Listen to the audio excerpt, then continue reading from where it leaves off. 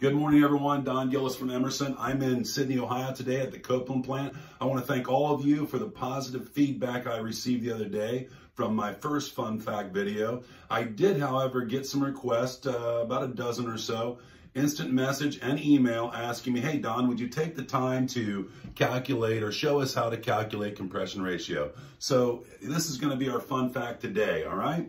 So I worked up a problem behind me here. Don't hang your hat on the numbers so much and try to figure out what refrigerant I'm using. I just want to show you the formula. And basically it comes down to you're already gauged up. It's just that simple, all right? So today I'm showing I have 185 on my gauges, my head pressure.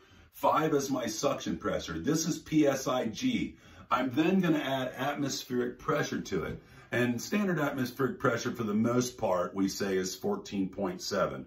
Now, if you're in somewhere like Denver, Colorado, that obviously is going to change, all right? But today we're going to use 14.7. I'm then going to round that up to 15 for easy math, okay? So I take my gauge pressure, add it to my atmospheric pressure, uh, my head pressure then becomes 200 or PSIA, 200 PSIA absolute. Suction pressure 5, add my atmospheric pressure, equals 20, okay? That is 200 over 20. 20 divided into 200 is 10. Whatever number you get there, put it in front of 1. That there, my friend, is your compression ratio, 10 to 1.